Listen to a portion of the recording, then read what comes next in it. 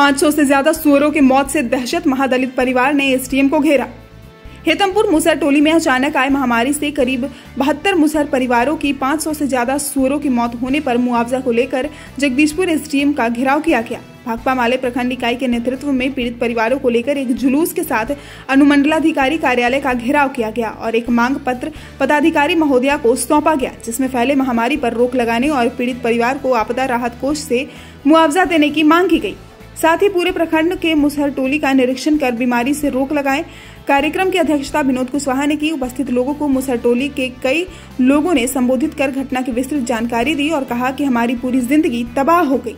को लेकर आज हम लोग एसडीएम का घेराव किए हैं और इस घेराव के तहत देख रहे हैं कि यहाँ एस डी एम साहिबा नहीं उपस्थित है और इतनी दूर से लोग चल के आए हैं भूखे प्यासे धूप में जो सुअर पालन महिलाएँ करती हैं समाज के सबसे निचला तबका है जो दल नीतीश सरकार दल, दलित से दल, महादलित बनाती हैं और उनके कोई भी व्यवस्था नहीं एक तरह सरकार कौशल विकास के नाम पर रोज़गार की बात करती है, लेकिन आज जो ये इनका रोज़गार है, सुअर पालन करना है, अगर इनको कौशल विकास के नाम पर इनको रोज़गार दिया जाता तो आज इनकी उपलब्धि बढ़ी होती।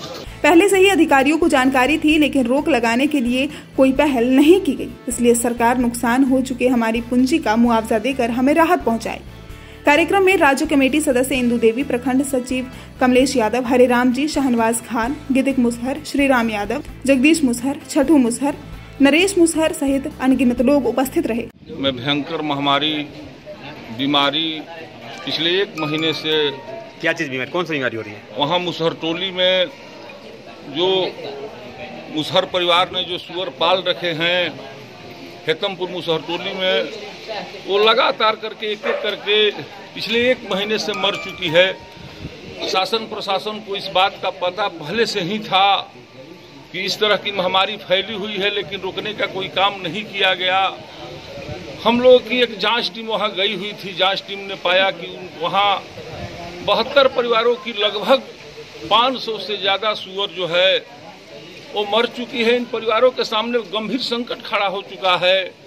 कल आप बीती सुनाते हुए वहाँ के कई परिवार रो रहे थे कि हम लोग के सामने भयंकर संकट खड़ा हो चुका है। हम लोग की जीविका है जीविका रहती है क्या करेंगे? तो हम लोगों ने उनको लेकर के उस परिवार को लेकर के वहाँ के हेतमपुर की जनता को मुसरटोली के लेकर के आज एसडीएम जगदीशपुर के पास आए हैं। क्या जो घेराव का मुख्य कारण था कि हेतमपुर मुस्टोली में महादलित परिवार से आते हैं लोग, सुअर का पालन करते हैं। वो यह महामारी के वजह में, महामारी जो चला है, इसमें 500 से ज़्यादा एक ही गाँव में इन लोगों का जानवर की मृत्यु हुआ। इसके सवाल पर आज एक एस का हम लोग घेराव किए हैं।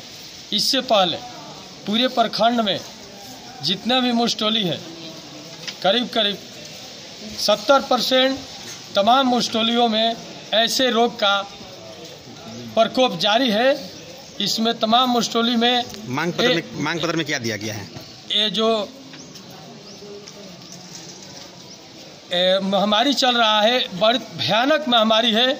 इस महामारी को रोका जाए और ये महादलित परिवार है एकदम भूमिहीन है ये गरीब है। इनको इस से मांग पत्र में हम लोग यही दिए हैं कि आपदा राहत से आप ये तमाम परिवारों को राहत कोष मुआवजा दिया जाए। और चावल दाल का भी व्यवस्था किया जाए और जानवर को मुआवजा देने की भी मांग हम लोग किए हैं। इस खबर को अगर YouTube पर देख रहे हैं तो चैनल को सब्सक्राइब कर घंटी को दबाइए। Facebook पर देख रहे हैं तो पेज को फॉलो लाइक और वीडियो को शेयर कीजिए। और भोजपुर ज़िले के तमाम खबरों को सबसे पहले अपने फ़ोन पर पाने के लिए प्ले स्टोर से भोजपुर न्यूज़ ऐप को इंस्टॉल कीजिए।